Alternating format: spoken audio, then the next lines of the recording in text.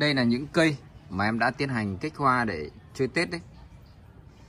Thì uh, những cái cây mà mình Em uh, lại chào bác nhá. Hôm nay ngày 25 tháng 12, bây giờ là tầm ờ, uh, 11 giờ trưa. Đấy, em đang tưới cây này. Thì uh, như những cái video uh, mọi lần em chia sẻ thôi. Các bác có thời gian thì cứ những cái ngày nào mà nó à quên là những cái thời gian mà nó ấm nhất ở trong ngày ấy, thì mình sẽ tưới cây vào cái mùa này nhá.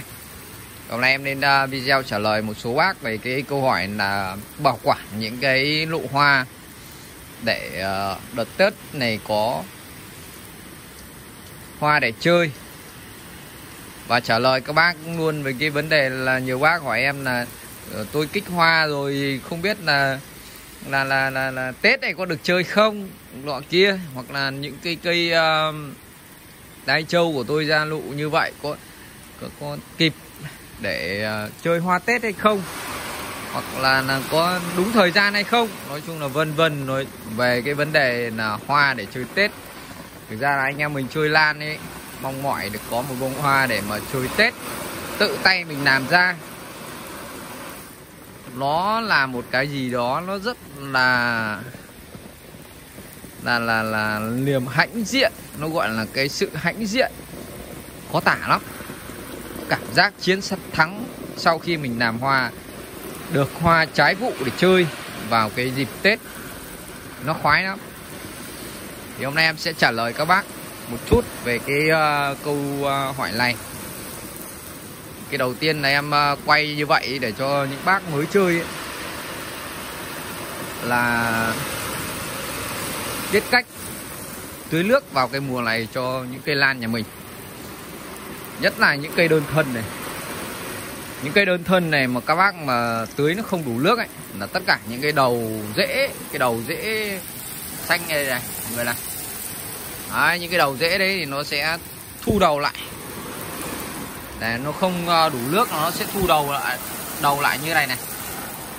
Mấy hôm vừa rồi em có tí việc nên là trăm cây các thứ là mình cũng bị bỏ bãng đi mất ừ, khoảng hơn tuần đấy. Em có tưới đâu. Nói chung là em mà cứ động vào cái việc gì ấy, thì mình tập trung vào những cái việc đấy nó gần như là toàn là tâm toàn ý. Sau đó là xong rồi lúc đấy là em mới mới làm những cái việc khác. Nên là lắm lúc là là, là mình hay bị sao nhãng. Trên đây này em đang có một uh, chai GE gừng mọi người nhé. Thì em sẽ sử dụng 5cc GE gừng cho một lít nước. Một cái lắp này của em là 50cc này. Thì ở đây cái bình này là 18 lít. Thì em sẽ sử dụng à, uh, 5cc cho 18 lít nước thì nó tương đương với cả 90cc mình sẽ sử dụng hai cái nắp này. Các bác dùng uh, thừa một, một chút nó không sao đâu không sao cả. Hai nắp này cho 18 lít nước tương đương với 100 cc nó không được trăm cc mình rót vơi vơi mà. Đại loại như vậy. Không cần phải là kỹ quá. Và mình uh, sử dụng thêm một chút siêu lân. Siêu lân đỏ cái này là để chống tắc và nghẽn dễ. Đấy, làm hoa đậm màu biết các thứ ấy. và chống rét cho cây cũng tương tự như cái gậy gừng em uh, cũng áng áng 1 cc cho một lít nước thì tương đương với 18 cc. 18 19 cc không sao. Áng áng tầm này các bác cứ áng như vậy là được. Vậy thôi. Các bác có thể là đan sen để cho thêm cái uh, super kali này. Cái super kali này thì một tuần các bác hãy dùng cho nó một lần thôi. Ai cái sản phẩm là siêu lân với cả là super kali đấy. Thì mọi người dùng có cũng được không có cũng chẳng sao cả nhé không nhất thiết là phải có super kali với cả có siêu lân. Mình có gừng là được rồi gừng nó cũng rất là nhiều lân kali và cũng là giữ ấm cho cây rồi. Thì mình sẽ sử dụng hai cái cái cái à, ba cái sản phẩm đó để chăm bón và giữ ấm cho cây bảo quản những cái lụ của mình. Lát em sẽ cho mọi người xem những cái lụ và cái trường hợp này này, thuốc này pha này, thì các bác có thể tưới cho những cái cây mình mới vào chậu này. Và tưới cho tất cả những cây hoa lan nhà mình nhé cây nào các bạn cũng tưới. Đấy đấy là mục đích các bác mà muốn sau này là ra hoa đấy. Ví dụ cây này này. Bác là sang năm mà muốn là nó có hoa. Thì các bác cũng tưới luôn nhé mình dùng chung một công thức đấy. Mình tưới luôn cho cây lan nhà mình. Còn đâu ví dụ như cây này muốn mà sang năm là nhân giống ấy cắt cắt khúc ra để nhân giống thì các bác không được tưới. Cái à, uh, dung dịch này nếu như các bác tưới cái dung dịch này, sang năm thì tỷ lệ cái những cái khúc mình cắt xuống để mình ươm ấy, thì nó sẽ ra hoa tất. Tỷ lệ ra hoa rất là cao. Và mình tưới thôi.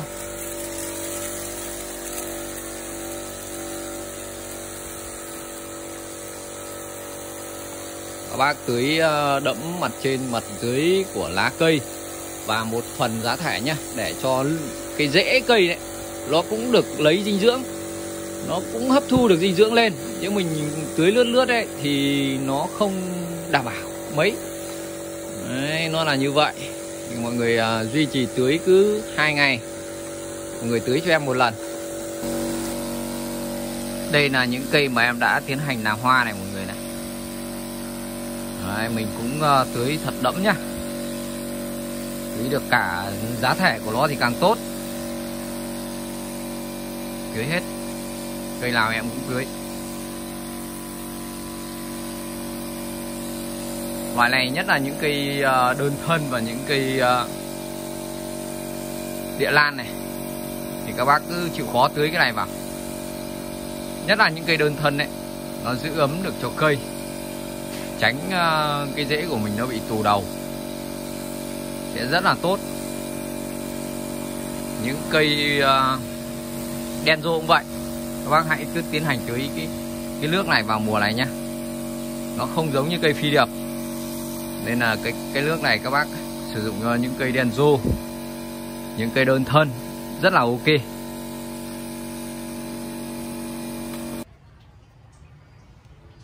Đây là những cây mà em đã tiến hành kích hoa để chơi Tết đấy. Thì uh, những cái cây mà mình được nó như kiểu nó thắt ngọn sớm hoặc là các bác tiến hành rút ngọn sớm vào đầu tháng 8 âm lịch. Thì trong quá trình đó là mình có tiến hành tưới những cái phân bón nó mang cái nhiều cái nồng độ lân và kali cao như những cái video em chia sẻ cho các bác. Thì cái quãng thời gian mà mình tưới lân và kali ấy, nó cũng không gọi là quá lâu cho những cái cây như này. Thì em đã tưới trong vòng khoảng một tháng thì những cây nó thắt ngọn sớm, nó đủ già đủ đanh thì nó đã lên hoa rất là nhanh trong quá trình mình kích. Mặc dù thời tiết là đợt này cũng khá là lạnh, nhưng mà những cái lụ hoa ra rất là tuyệt vời. Những lụ như này thì không có thể là là lụi được và không có thể là người ta gọi là là là nó nó nó bị tàn đi được thì kể cả những cái mầm nó rất là nhỏ như này thôi, nó cũng có hoa. Thì bên này cũng có một cây à, hồng xòe. Hồng xòe là cái loại hoa mà nó không phải là hoa xuân. Thì cũng thành nụ rất là rõ rệt như này rồi mọi người. Đấy, nó sưng ờ, ở đây nếu như mình xé áo ra là ok rồi. Cái này nó lộ, mình phát hiện ra ngay bên cạnh đó là không phải là những cái cây nào mình cũng có thể là thành công. Ví dụ như cây phú thọ là các bác là, là um, như kiểu là mình uh, mình mong mỏi nó nhiều nhất thì cái cây phú thọ của em thì nó chỉ sưng lên để đấy thôi. Nó không có có ra thành lụ mọi người. Cái này uh, sưng chậm hơn này. Cây này thì là cái cây nó thắt ngọn sau. Và cái quãng thời gian là già và đanh cây là nó tiến hành là chậm hơn. Nó chỉ trong vòng khoảng một tháng thôi nó không có đủ không có đủ ờ, thời gian để nó tiếp nhận dinh dưỡng và không đủ thời gian để nó đanh cây nó ra hoa. Thì với những cái trường hợp như này ấy, để sau này sang năm mà các bác muốn kích hoa thì chắc là mình sẽ phải cho một cái lượng thuốc nó nhiều hơn. Đấy là em ờ, làm thí nghiệm vài cây nhưng mà có kết quả như nào thì em uh, báo lại mọi người như vậy thôi. Đây như cái này sưng sưng rất là to như này. Nó lứt áo bẹ ra như này rồi. Đây mọi người này. Đấy, nó lứt áo bẹ như này như này rồi. Như này thì nó vẫn ra thôi nhưng mà những cái trường hợp như này nó sẽ ra hoa sau. Ra hoa là sau Tết. Kiểu gì cũng ra hoa sau Tết.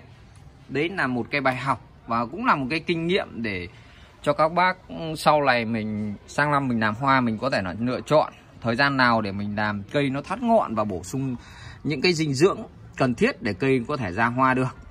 Đấy. Thì bên cạnh đây cũng là một cái chậu phú thọ. Chậu này có ba cái kỳ rất là nhỏ. Sau đó em tiến hành trồng ba cái vào một chậu. Thì những cái này này là những cái mà nó thắt ngọn về sau. Thì nó cũng chỉ sưng gọi là sưng lên rất to và nứt áo ra để như này. Và không uh, phát triển rất là chậm thì ở bên dưới này có một cái cây nó rất là ngắn thôi. Đây mọi người nhìn cái cây này rất là ngắn. Đây, em cũng xe chỉ một kim được à, hai cái. Thì cái kết quả đạt được từ những cây ngắn này nó nó đều thành nụ hết. Đây đây một cây, đây một cái nữa này. Thì cái này nó thắt ngọn sớm hơn. Cùng trên một chậu, cùng một tiểu khí hậu, cùng một giá thể.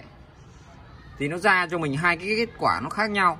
Như vậy thì các bác hình dung là sau này, ví dụ như là các bác mà muốn là kích hoa, thì mình đảm bảo được cái vấn đề là cây phải đủ già này, đủ đanh này, và đủ dinh dưỡng là lân và kali, hai cái thành phần rất là quan trọng để cho cây của mình nó ra được hoa.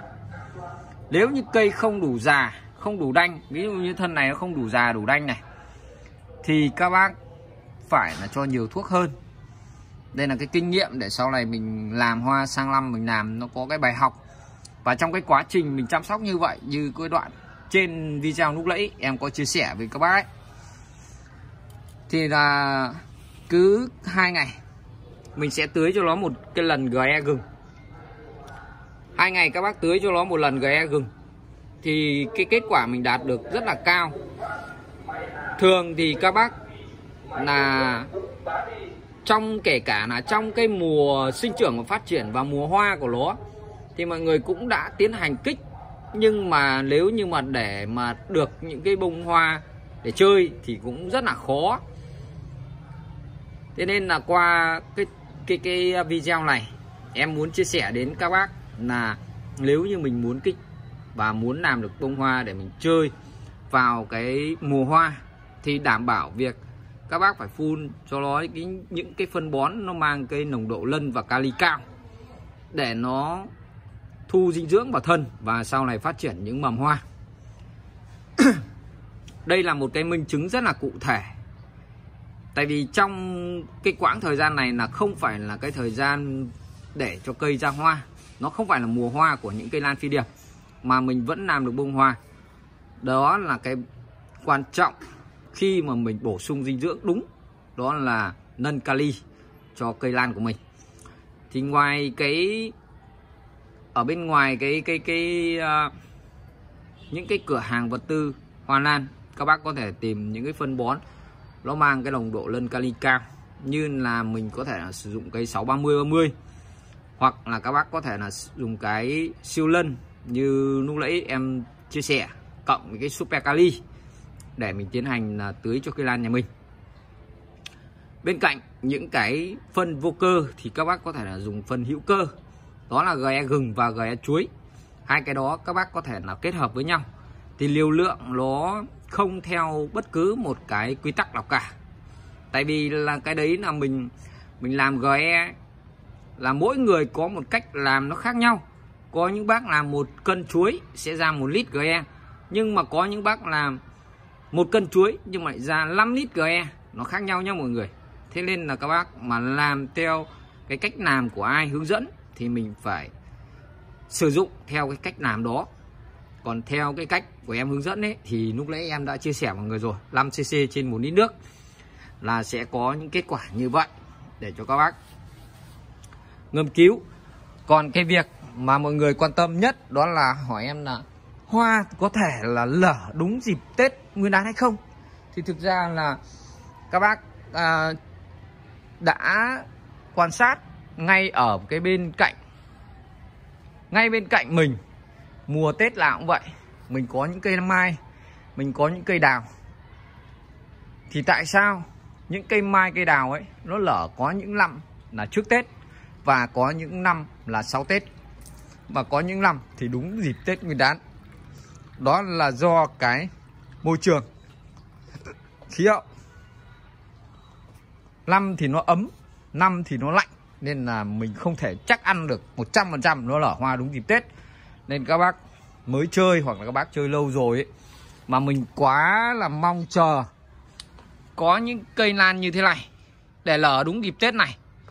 Thì cây này mình gọi là à, mình à, chỉ làm cho nó vui được thì chơi và không được thì thôi chứ đừng có gọi là uh, đặt nhiều tâm huyết vào những cái lụ hoa này quá thì nó sẽ gây cho mình cái thất vọng nó nhiều quá. Như em chia sẻ đấy không phải là năm nào nó cũng có cái thời tiết nó tuyệt vời để cho các bác chơi hoa đâu. Đấy, ví dụ như cây đai châu này thời tiết thuận lợi là nền nhiệt cứ dao động từ 16 cho đến 25 độ C từ giờ đến Tết thì cây này trăm phần trăm sẽ lở hoa đúng Tết. Nhưng mà nó lại co rét như cái thời gian vừa rồi thì là nó sẽ không lở đúng dịp Tết đâu. Còn các bác ở trong Lam ấy thì không nói làm gì rồi. Các bác trong Lam thì cái thời tiết nó rất là tuyệt vời. Thì một số bác trong Lam thì thì vừa rồi chắc cũng đã làm hoa rồi. Thì các bác chăm sóc ấy. ví dụ như là mình ờ, trong cái quãng thời gian mình kích mà mình chưa bổ sung kịp những cái phân bón nhiều lần kali thì trong thời gian mình kích thì các bác cũng có thể là bổ sung phân bón nhiều lần kali thì nó sẽ được cái kết quả như mong muốn của mình thôi. Kể cả nó ra những cái đầu ki, nó ra thành những cái ki rồi, nhưng nếu như các bác phơi lắng, kết hợp với việc mình chăm bón bằng cái gói gừng, thì cái việc là từ cái ki đấy nó sẽ đẩy lên thành một bông hoa. Giống như ở đây này tức là từ cái đầu kia nó sẽ phát triển thành một cái bông hoa nó như kiểu hoa bói đấy. Nhưng bông hoa nó vẫn cứ đẹp rất là tuyệt vời. Đây cái này của em nó bị chuột nó gặm bố nó mất rồi. Gọi là uh, ví dụ để cho các bác xem thôi. Đấy. đấy từ cái đầu kia này nó sẽ phát triển thành một bông hoa. Và sau này cây kia này mình vẫn nhân giống được. Ở đây em làm được hai cái nhưng cái này nó nó nó thu vào cái trong nó không phá được lớp áo này ra. Thì là nó không ra được bông hoa tức là nó phải phá cái lớp áo lụa này cơ. Thì hôm trước em thò tay em em kéo thì nó bị đứt. Thì nó còn còn được mỗi cái này thôi. Còn cái này như bị chuột nó gặm mất rồi. Thì đấy là một cái ví dụ để cho các bác uh, dễ hình dung. Đó là toàn bộ video của em ngày hôm nay. Bác nào chưa hiểu vấn đề gì thì có thể lại để lại cái bình luận ở bên phía dưới. Em sẽ trả lời những câu hỏi của mọi người. Hẹn à, cô chú chị cái video lần sau chúc cô chú chị có buổi tối vui vẻ.